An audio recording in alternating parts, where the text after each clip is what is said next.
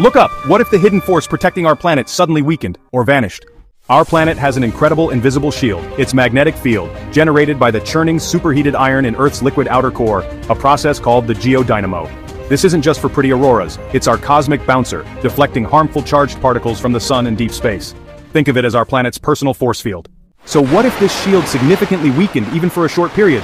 First, those stunning auroras would become common, visible even near the equator. But don't be fooled by the beauty.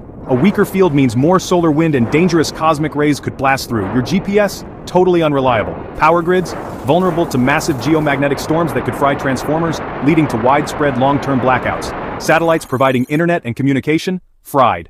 Now for the terrifying scenario, what if it completely vanished, even for a few weeks?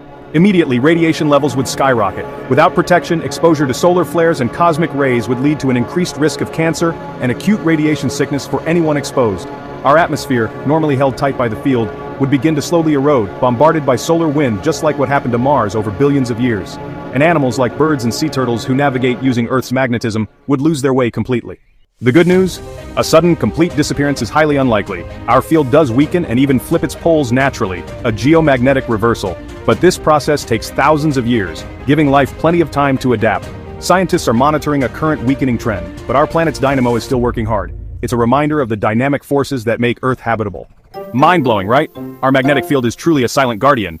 What other what-if scenarios would you like us to explore? Let me know in the comments and don't forget to like and subscribe for more fascinating science.